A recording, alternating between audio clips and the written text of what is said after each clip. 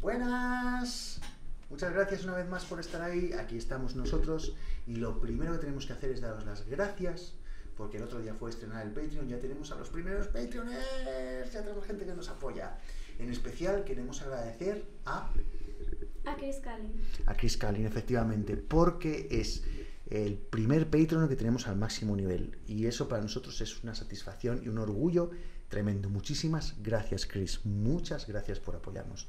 Em, ¿Qué os puedo decir? Eh, pues que significa muchísimo para nosotros porque por más que veáis que aquí hay baterías, bajos, etcétera, etcétera, mucho de eso viene porque mm, heredado de que yo he sido músico durante muchos años, músico, músico, músico aficionado, ¿eh? a mí no me vais a encontrar nunca tocando los Guns N' Roses, no te preocupes por eso. Pero entre eso y la segunda mano, pues vamos tirando, pero nos ayudáis muchísimo con ese apoyo. Así que muchas gracias y a los demás, porfi, porfi, porfi, a echarnos una mano en lo que podáis. Si es simplemente comentando, comentad el vídeo, si es simplemente dando un like, darnos un like. Si podéis ayudarnos en Patreon, perfecto, pero nos viene estupendo para poder seguir creando contenido. Muchas gracias. Y dicho esto, Hoy venimos con una cosa muy distinta, pero muy distinta. La semana pasada mencionamos que estas nenas tenían una actividad al margen de hacer versiones de The Warning. Es decir, aparte de dormir y hacer versiones de The Warning, también hace otra cosa, que es escuchar a The Warning. No, hacen más todavía. ¿Qué hacéis dentro de la música? Eh, pues está en una jazz band. Estamos en una jazz band, o están en una jazz band, que es... Eh, bueno, es como una banda infantil que tocamos jazz, bueno, ya lo dice el nombre, pero eh, que básicamente hacemos conciertos y tenemos un repertorio de jazz. Efectivamente, jazz adaptado, ¿vale? Sí es verdad que tocan jazz, pero el, el, repertorio es muy, muy, muy, muy guapo para los niños, está muy bonito. Entonces, dentro de eso, eh, nos pusimos a pensar que, por cierto, llevamos tres meses, o llevan tres meses en la Jazz Band, y ¿sabéis el día que la escogieron? El día de nuestro vídeo en el que tocaron por primera vez en directo. Si os acordáis, hay una actuación donde tocan Choke de The Warning en directo. Bueno, pues ahí las vieron y ahí dijeron, estas dos, para dentro a Jazz Band. Por cierto, Entonces, si no lo visteis, ir a verlo. Oh, vamos, corred, que está ahí. no estáis tardando. Entonces, eh, a raíz de ese día, efectivamente está la Jazz Band y dentro del repertorio, como es muy difícil, evidentemente, llevaros hasta ahí para que lo veáis, es decir, llevar una cámara, instalarla, como tampoco podemos traernos a todos los niños y como encima además hay derechos de imagen, etcétera, etcétera, lo que hemos decidido ha sido coger una de las piezas que hacemos y tocarla nosotros, ¿vale? Tocar encima de una de las pistas que tenemos, porque es la manera que tenemos de aproximaros un poquitín al resto que hacemos. Y entonces, dicho esto, hoy vamos a hacer... La Pantera Rosa. ¡Wow!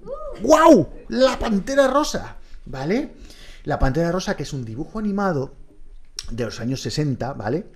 Eh, buenísimo y que seguro que os sonará a la gran mayoría de vosotros, ¿vale?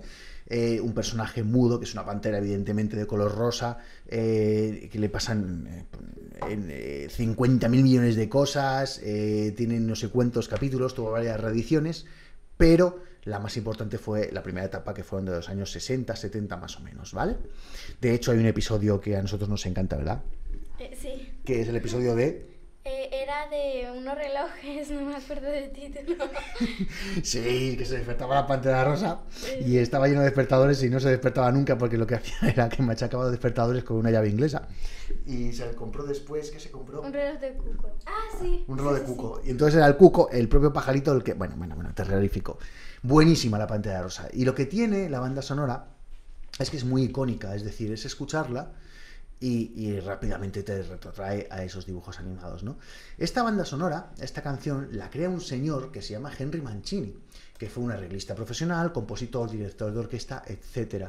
Y este señor, aparte de crear la Pantera Rosa, que posiblemente sea su éxito más reconocido, hizo bastantes cosas más. Sin ir más lejos, creó la banda sonora de Remington Steel, que esta nena no tiene ni idea de lo que es, evidentemente, porque son muy jóvenes, no como los demás. Eh, empezando por mí, eh, pero nada más y nada menos que es una serie de detectives muy buena que hicieron en los años 60, 70 y que yo también conozco gracias a las reposiciones, pero la tengo vista, ¿eh? coste. Entonces es, fue un señor que realmente se movió bastante por el tema de la televisión, aparte de la música clásica, etcétera, etcétera. Y sobre esto, sobre esto, se puede arreglar la pieza, de hecho está arreglada, se puede tocar en orquesta, de hecho se toca, y aquí estas dos con saxofones, tubas, etcétera, etcétera, pianos, tal, tal, tal. Tuba no. Tuba no. No tenemos una tuba, hay que arreglarlo rápidamente. No tenemos cantante, no tenemos una tuba, no tenemos absolutamente nada en este grupo. Necesitamos una tuba solista. Basta. El caso es que eh, vamos a hacer este tema, ¿vale? Esperemos que os guste. Es, sabemos perfectamente que es una cosa muy distinta a lo que hacemos. Muy distinta. A lo mejor nos pegamos un castañazo y no nos ve nada más que nuestra madre. Quizás. Es muy posible, pero a ver, hay que dar cabida a otros géneros. Vamos a empezar a hacer cosas distintas. No significa que no toquemos más a The Warning. No. Además os voy a explicar por qué. The Warning acaba de sacar un nuevo single que se llama... Y en esta casa se ha escuchado 4 millones y medio de veces en dos días. Con lo cual no vamos a dejar de hacer The Warning, no os preocupéis. ¿Vale? Eh, de hecho, estuvimos pensando en hacer una reacción a la primera vez que lo escuchamos, pero nosotros somos más de acción que de reacción. Nosotros tocamos, no escuchamos. Aunque bueno, mm, queda la idea ahí porque a lo mejor un día hacemos algo así, veremos, ¿verdad? Sí, se ve- veremos. Eso dijo un ciego y no vio nada. Bueno, a lo que vamos. Bromas aparte, aquí os dejamos con La Pantera Rosa. Es una canción, ya digo, que creo que conocemos más bien todos y no es fácil. No es fácil, con lo cual vamos a hacer lo que podamos, porque estas nenas llevan solo tres meses en la Jazz Band, hacen lo que pueden y no sé yo si... Sujétame los auriculares. Bueno, pues auriculares sujetos. Con vosotros, La Pantera Rosa.